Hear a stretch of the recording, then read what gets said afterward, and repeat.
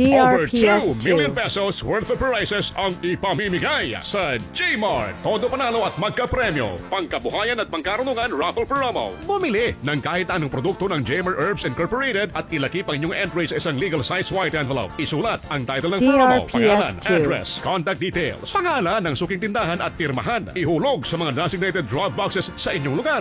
Visit our page at Market Pay Official or see posters for more details. Promo runs from May 15, 2022 to January 31, 2023.